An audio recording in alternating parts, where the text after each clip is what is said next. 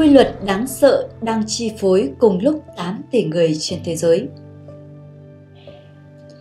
Kính chào quý khán thính giả của Đông Tây Kim Cổ. Hôm nay chúng ta sẽ bàn về một quy luật mà không phải ai cũng biết. Nó tuy đơn giản nhưng rất đáng sợ của vũ trụ, được gọi là hiệu ứng cánh bướm. Hiệu ứng này mang ý nghĩa ẩn dụ triết lý cuộc sống. Một hành động nhỏ, sự kiện nhỏ có thể dẫn tới kết quả hậu quả bất ngờ lớn sau đó, thậm chí là thay đổi cả một cuộc đời ai đó hoặc cả lịch sử. Vào những năm 60 của thế kỷ 20, nhà toán học và khí tượng học Edward Lorenz, người Mỹ, là người đầu tiên khám phá ra lý thuyết hỗn loạn và hiệu ứng cánh bướm. Cụ thể, khi thực hiện mô phỏng các hiện tượng thời tiết, Lauren nhận thấy rằng nếu ông làm tròn các dữ liệu đầu vào, dù với sai số bé thế nào đi nữa, thì kết quả cuối cùng luôn khác với kết quả của dữ liệu không được làm tròn.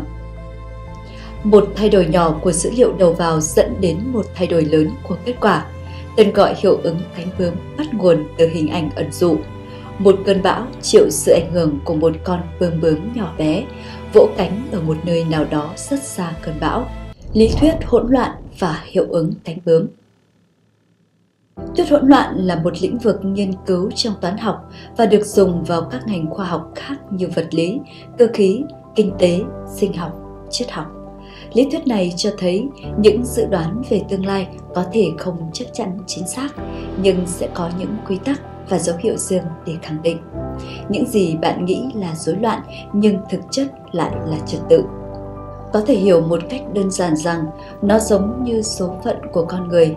Mỗi quyết định mỗi lời nói, mỗi hành động của một người đều có thể thay đổi tương lai của họ. Bởi thế giới chúng ta đang sống luôn chứa đựng nhiều điều phức tạp, mơ hồ và đầy biến động. Và hiệu ứng cánh bướm được gọi là hiệu ứng của thuyết hỗn loạn. Hiệu ứng cánh bướm được mô tả như sau. Một con bướm chỉ cần vỗ cánh hai lần ở bên này trái đất đã có thể gây ra sự xáo trộn không khí sự xáo trộn nhỏ này gây ra một phản ứng dây chuyền lớn sang bên kia trái đất, tạo ra một cơn sóng thần khổng lồ. Tất cả sự xáo trộn này phải trải qua đủ các quá trình, nhưng nó không đảm bảo chắc chắn, bởi các quá trình đó rất phức tạp, vừa mơ hồ, đây gọi là thuyết hỗn loạn. Năm 1961, trong một dự án mô phỏng dự báo thời tiết trên máy tính, nhà toán học Lawrence đã làm tròn kết quả trong lúc nhập liệu số 0,506127 thành 0,506 để nhập nhanh hơn. Ông hoàn toàn bất ngờ khi máy tính đưa ra những dự đoán khác hoàn toàn với dữ liệu ban đầu, cho dù những con số được làm tròn hoàn toàn không đáng kể. Mặc dù kết quả thực nghiệm không rõ ràng lắm, nhưng nhiều người vẫn chấp nhận nó và giờ đây ai cũng nhắc đến hiệu ứng này. Trên thực tế, hiệu ứng cánh bướm chỉ là một khái niệm để giải thích cho sự hỗn loạn. Việc một con bướm đập cánh có thể gây ra một cơn bão là một việc khó có thể xảy ra hoặc không bao giờ xảy ra. Nhưng thông qua lý thuyết này, chúng ta hiểu rằng mỗi thay đổi nhỏ xảy ra sẽ khiến một chuỗi hiệu ứng đằng sau sẽ thay đổi theo và lớn dần. Nhưng quá trình đó rất phức tạp và mơ hồ. Để dễ hình dung hơn, Liệu Anh sẽ đưa ra những ví dụ cho các quý vị có thể dễ hiểu hơn dưới đây. Tài xế đi nhầm đường dẫn đến Thế chiến thứ nhất Ngày 28 tháng 6 năm 1914, kế hoạch ám sát Thái tử nước Áo Kinh Hoàng Archduke Franz Ferdinand đã không thành công. Một quả lựu đạn đã được ném vào xe của hoàng tử nhưng bị trượt, khiến hai người hầu bị thương. Lẽ ra khi nhìn thấy dấu hiệu của sự nguy hiểm này, hoàng tử nên trở về khách sạn, nhưng ông lại cương quyết muốn đến trung tâm cấp cứu để thăm người bị thương. Trên đường đi, do không quen địa lý, tài xế của ông đã lái xe lạc đường. Cùng lúc này, vô tình đoàn xe đã chạm trán với một trong những kẻ giết người trước đó, Gavrilo Princip. Không chần chừ, Princip nhắm thẳng khẩu súng của mình vào thái tử Franz Ferdinand. Vụ ám sát này đã châm ngòi cho chiến tranh thế giới thứ nhất. Người ta tin rằng do người lái xe nhầm đường dẫn đến vụ ám sát hoàng tử. Kết quả là đế quốc Áo, Hung đã tuyên chiến với Serbia, dẫn đến việc Đức tuyên chiến với Nga lôi kéo Bỉ, Pháp và Anh tuyên chiến với Đức. Hiệu ứng cánh bướm còn được biết đến nhiều nhất đó là vào năm 1905 khi Adolf Hitler nộp đơn vào Học viện Mỹ thuật Vienna, tiếc là ông bị từ chối đến hai lần. Sau khi bị từ chối, ông buộc phải sống trong khu ổ chuột của thành phố. Cũng chính tại nơi này, ông đã đưa ra chủ nghĩa chống Do Thái. Thay vì nghe theo ước mơ của mình là trở thành một ông nghệ sĩ, ông đã gia nhập quân đội Đức, trở thành một vị tướng chế độ phát xít nổi tiếng với chế độ độc tài cùng tội ác diệt chủng tàn nhẫn. Người lính tốt bụng tha mạng cho kẻ địch dẫn đến Thế chiến thứ hai. Vào ngày 28 tháng 9 năm 1918, khi quân đội Anh và Đức đang giao tranh tại làng Marcoing ở Pháp, Henry Stanley nhìn thấy một tên lính Đức đang chạy trốn.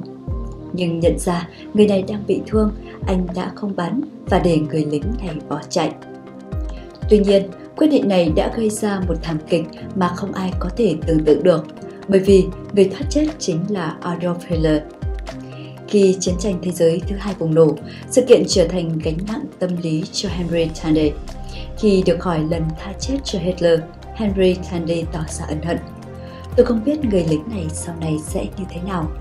Khi tôi nhìn thấy những người vô tội bị giết bởi hành động tàn bạo của Hitler, tôi đã cầu xin Chúa tha thứ cho tôi vì đã giữ cho hắn sống sót. Quyết định tha mạng sống cho một người trên chiến trường của Thế chiến thứ nhất đã dẫn đến cái chết của 60 triệu người trong Thế chiến thứ hai. Đây chính là hiệu ứng dây chuyền của hiệu ứng cánh bướm. Cũng giống như cuộc đời của mỗi người, hiện tại thì có thể chọn vỗ cánh giống như con bướm đó. Nghĩa là quyết định làm một việc gì đấy, nhưng việc xảy ra trong tương lai thì không ai có thể đoán trước được. Vì vậy, lý thuyết hỗn loạn cũng được xem là một phần trong luật nhân quả. Có nhân thì có quả trồng nhân nào thì ra quả đấy. Chỉ là quá trình dẫn đến kết quả cần thời gian bao lâu và trình tự thế nào thì không ai biết chắc chắn được. Hiệu ứng cánh bướm trong cuộc sống. Qua lăng kính của quan hệ nhân quả, hiệu ứng cánh bướm được diễn giải gần giống với thuật ngữ gieo nhân nào, gặp quả ấy. Nếu trong cuộc sống, khi bạn làm một việc tốt, dù là việc lớn hay việc nhỏ, thì đều mang lại lợi ích cho ai đó hoặc cho nhiều người. Cũng có nhiều câu tục ngữ tương ứng với học thuyết này, như sai một ly, đi một dặm hoặc một ngọn lửa có thể thiêu rụi một cánh đồng chúng đều có ý nghĩa là một sự thay đổi nhỏ trong điều kiện ban đầu sẽ dẫn đến một sự thay đổi lớn Ví dụ, giữa hàng triệu video trên kênh YouTube, bạn có thể lựa chọn theo dõi video này của chúng tôi, lắng nghe và chiêm nghiệm. Nên giữa chúng ta đã bắt đầu có mối quan hệ nhân quả. Đồng Tây kiêm cổ chọn hướng đi, bạn chọn dõi theo. Có người xem video của kênh này mà cuộc sống thoát khỏi muộn phiền, rắc rối hay có thể tìm được nhiều ý nghĩa nhân sinh cuộc sống. Cho nên, có thể nói, nhân quả luôn là một điều kỳ bí và kỳ diệu đối với con người. Vậy khi xem xong nhiều video của Đông Tây Kiềm Cổ, không biết có quý vị khán giả nào có sự thay đổi nào về cuộc sống cũng như nhân sinh quan thì hãy tiết lộ cho Lê Oanh cùng biết nhé. Cảm ơn tất cả quý vị đã dành chọn thời gian để theo dõi hết video này.